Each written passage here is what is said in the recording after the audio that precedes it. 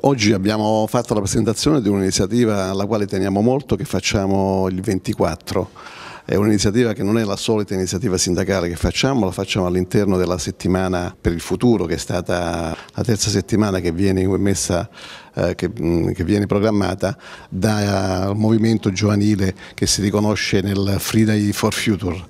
che porterà poi alla fine, alla fine alla, allo sciopero del 27. Noi questa, abbiamo fatto l'adesione a livello nazionale come CGL e facciamo delle iniziative anche locali. In questo caso la nostra iniziativa è quella di provare a riflettere rispetto ai temi ambientali con eh, la realtà locale, con il contesto locale e provando un pochettino a far emergere quelle che sono le fragilità, le potenzialità che ci stanno localmente. Lo facciamo al Dipoppa, al Dipoppa Rozzi dove abbiamo avuto comunque la disponibilità, la ringraziamo della preside appunto a fare questa iniziativa lì per parlare con i giovani, perché i giovani sono poi la risorsa vera del futuro e sono i giovani che si devono in qualche modo far carico di quelli che sono i limiti dell'ambiente e in qualche modo di, far, di provare a valorizzarne anche le potenzialità.